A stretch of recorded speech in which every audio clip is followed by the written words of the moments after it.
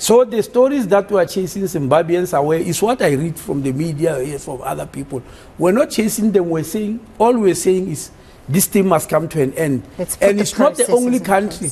Angolans also once got this type of special permit for Angola, but United Nations announced that there's no more in Angola.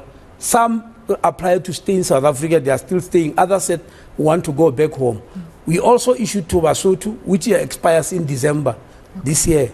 So I, I'm really surprised. What is the halabaloo all about? And others said no, it's because these people know no other home. They've been here forever. Mm. But when you go to the borders, we have got a record the, on the movement control system. They, yeah, they go home and they back. Like me, I'm a migrant from Limpopo.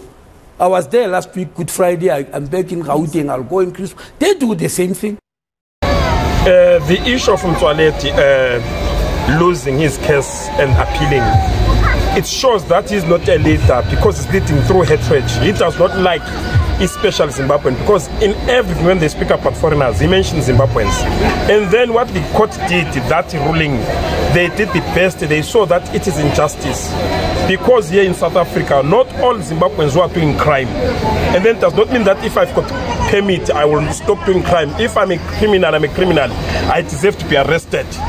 They are not foreigners who are doing crime. They are criminals. So Motsoaledi has to take this in his head.